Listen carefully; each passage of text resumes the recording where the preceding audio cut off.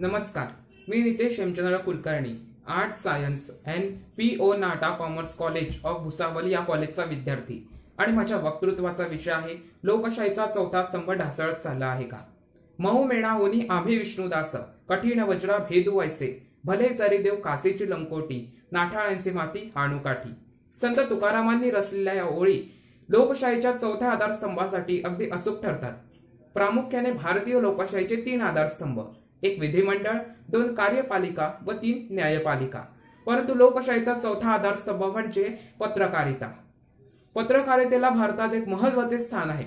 तसेच महाराष्ट्रातही वृत्तपत्रांची परंपरा अत्यंत प्रभावी व प्रेरक अशीच आहे.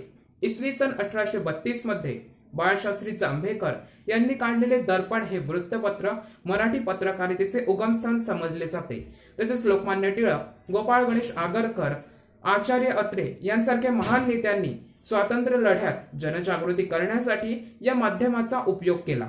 निपक्षपातीपणा प्रामाणिकपणा सत्यता व लोकांचा विश्वास संपादित करून एका उच्च स्थानावर पोहोचले आहे ती पत्रकारिता.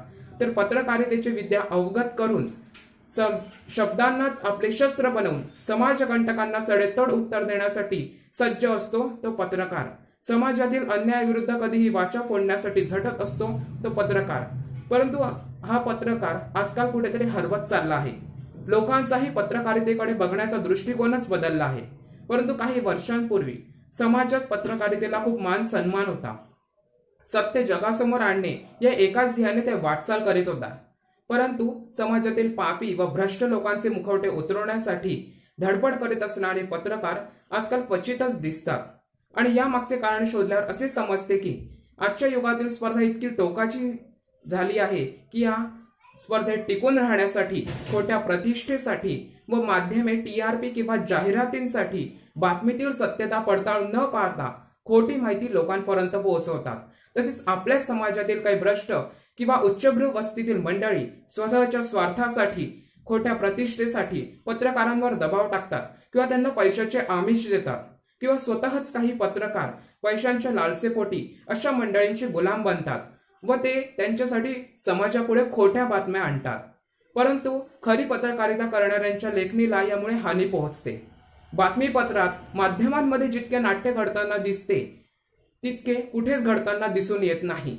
आताची ताजी उदाहरणं बघितली तर कोरोना महामारीच्या बातम्या असो किंवा आत्महत्यासारखा गंभीर विषय असो अगदी गमतीचा विषय असल्याप्रमाणे सगळ्यांनी या बातम्या सांगितल्या. यावर अनेक चर्चासत्र देखील झाली. परंतु या चर्चासत्रांमध्ये मूळ मुद्दा बाजूला राहिला व वेगळ्याच वर्णावर आला. आणि हे सगळे पाहिले की असेच वाटते की लोकशाहीचा चौथा आधारस्तंभ ढासळत चालला आहे. परंतु म्हणतात ना हाताची पाचही बोट सारखी नसतात त्याचप्रमाणे काही निवडक पत्रकार.